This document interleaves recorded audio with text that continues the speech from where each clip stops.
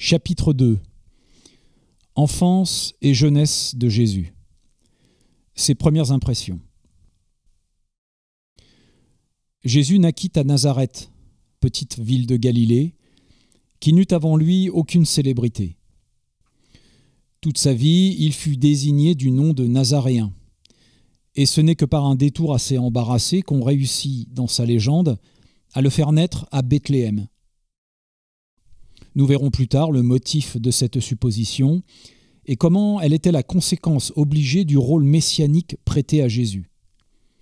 On ignore la date précise de sa naissance. Elle eut lieu sous le règne d'Auguste, probablement vers l'an 750 de Rome, c'est-à-dire quelques années avant l'an 1 de l'ère que tous les peuples civilisés font dater du jour où il naquit. Le nom de Jésus qui lui fut donné est une altération de Josué. C'était un nom fort commun, mais naturellement on y chercha plus tard des mystères et une allusion au rôle de sauveur. Peut-être Jésus lui-même, comme tous les mystiques, s'exaltait-il à ce propos? Il est ainsi plus d'une grande vocation dans l'histoire dont un nom donné sans arrière-pensée à un enfant a été l'occasion. Les natures ardentes ne se résignent jamais à voir un hasard dans ce qui les concerne. Tout pour elles a été réglé par Dieu, et elles voient un signe de la volonté supérieure dans les circonstances les plus insignifiantes. La population de Galilée était fort mêlée, comme le nom même du pays l'indiquait. Cette province comptait parmi ses habitants, au temps de Jésus, beaucoup de noms juifs, phéniciens, syriens, arabes et même grecs. Les conversions au judaïsme n'étaient point rares dans ces sortes de pays mixtes. Il est donc impossible de soulever ici aucune question de race et de rechercher quel sang coulait dans les veines de celui qui a le plus contribué à effacer dans l'humanité les distinctions de sang. Il sortit des rangs du peuple. Son père Joseph et sa mère Marie étaient des gens de médiocres conditions, des artisans vivant de leur travail, dans cet état si commun en Orient qui n'est ni l'aisance ni la misère. L'extrême simplicité de la vie dans de telles contrées, en écartant le besoin de ce qui constitue chez nous une existence agréable et commode, rend le privilège du riche presque inutile, et fait de tout le monde des pauvres volontaires, d'un autre côté, le manque total de goût pour les arts et pour ce qui contribue à l'élégance de la vie matérielle donne à la maison de celui qui ne manque de rien un aspect de dénuement. À part quelque chose de sordide et de repoussant que l'islamisme a porté avec lui dans toute la Terre sainte, la ville de Nazareth, au temps de Jésus, ne différait peut-être pas beaucoup de ce qu'elle est aujourd'hui.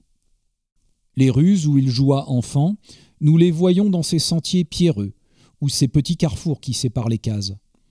La maison de Joseph ressembla beaucoup sans doute à ces pauvres boutiques éclairées par la porte, servant à la fois d'établi, de cuisine, de chambre à coucher, ayant pour ameublement une natte, quelques coussins à terre, un ou deux vases d'argile et un coffre peint. La famille, qu'elle provint d'un ou de plusieurs mariages, était assez nombreuse. Jésus avait des frères et des sœurs, dont il semble avoir été l'aîné tous sont restés obscurs. Car il paraît que les quatre personnages qui sont donnés comme ses frères, et parmi lesquels un au moins, Jacques, est arrivé à une grande importance dans les premières années du développement du christianisme, étaient ses cousins germains. Marie, en effet, avait une sœur nommée aussi Marie, qui épousa un certain Alphée ou Cléophas. Ces deux noms paraissent désigner une même personne. Et fut mère de plusieurs fils qui jouèrent un rôle considérable parmi les premiers disciples de Jésus. Ses cousins germains, qui adhérèrent au jeune maître, pendant que ses vrais frères lui faisaient de l'opposition, prirent le titre de frères du Seigneur. Les vrais frères de Jésus n'eurent de notoriété, ainsi que leur mère, qu'après sa mort. Même alors, ils ne paraissaient pas avoir égalé en considération leurs cousins, dont la conversion avait été plus spontanée et dont le caractère semble avoir eu plus d'originalité. Leur nom était inconnu, à tel point que quand l'évangéliste met dans la bouche des gens de Nazareth l'énumération des frères selon la nature, ce sont les noms des fils de Cléophas qui se présentent à lui tout d'abord. Ses sœurs se marièrent à Nazareth, et il y passa les années de sa première jeunesse. Nazareth était une petite ville, située dans un pli de terrain largement ouvert au sommet du groupe de montagnes qui ferme au nord la plaine d'Esdrelon. La population est maintenant de 3 à 4 000 âmes, et elle peut n'avoir pas beaucoup varié. Le froid est vif en hiver, et le climat fort salubre. Nazareth, comme à cette époque toutes les bourgades juives, était un amas de cases bâties sans style, et devait présenter cet aspect sec et pauvre qu'offrent les villages dans les pays sémitiques. Les maisons, à ce qu'il semble, ne différaient pas beaucoup de ces cubes de pierre, sans élégance extérieure ni intérieure, qui couvrent aujourd'hui les parties les plus riches du Liban et qui, mêlées aux vignes et aux figuiers, ne laissent pas d'être fort agréables. Les environs, d'ailleurs, sont charmants, et nul endroit au monde ne fut si bien fait pour les rêves de l'absolu bonheur. Même aujourd'hui, Nazareth est un délicieux séjour, le seul endroit peut-être de la Palestine où l'âme se sent un peu soulagée du fardeau qui l'oppresse au milieu de cette désolation sans égale. La population est aimable et souriante. Les jardins sont frais et verts. Antonin Martyr, à la fin du VIe siècle, fait un tableau enchanteur de la fertilité des environs qu'il compare au paradis. Quelques vallées du côté de l'ouest justifient pleinement sa description. La fontaine où se concentrait autrefois la vie et la gaieté de la petite ville est détruite. Ces canaux crevassés ne donnent plus qu'une eau trouble. Mais la beauté des femmes qui s'y rassemblent le soir, cette beauté qui était déjà remarquée au VIe siècle et où l'on voyait un don de la Vierge Marie, s'est conservée d'une manière frappante. C'est le type syrien dans toute sa grâce pleine de langueur. Nul doute que Marie n'ait été là presque tous les jours n'ait pris rang, l'urne sur l'épaule, dans la file de ses compatriotes restés obscurs. Antonin Martyr remarque que les femmes juives, ailleurs dédaigneuses pour les chrétiens, sont ici pleines d'affabilité. De nos jours encore, les haines religieuses sont à Nazareth moins vives qu'ailleurs.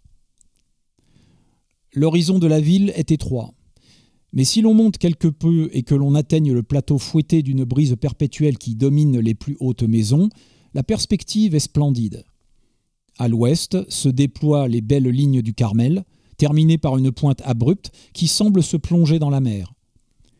Puis se déroule le double sommet qui domine Maghédo, les montagnes du pays de Sichem avec leur lieu saint de l'âge patriarcal, les monts Gelboé, le petit groupe pittoresque auquel se rattachent les souvenirs gracieux ou terribles de Soulem et d'Andorre, le Tabor avec sa forme arrondie, que l'Antiquité comparait à un saint.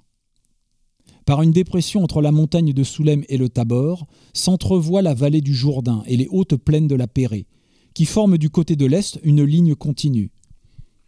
Au nord, les montagnes de Safed, en s'inclinant vers la mer, dissimulent Saint-Jean d'Acre, mais laissent se dessiner aux yeux le golfe de Caïpha. Tel fut l'horizon de Jésus. Ce cercle enchanté, berceau du royaume de Dieu, lui représenta le monde durant des années. Sa vie même sortit peu des limites familières à son enfance. Car au-delà, du côté du nord, l'on entrevoit presque, sur les flancs de l'Hermont, Césarée de Philippe, sa pointe la plus avancée dans le monde des gentils, et du côté du sud, on pressent, derrière ces montagnes déjà moins riantes de la Samarie, la triste Judée, desséchée comme par un vent brûlant d'abstraction et de mort.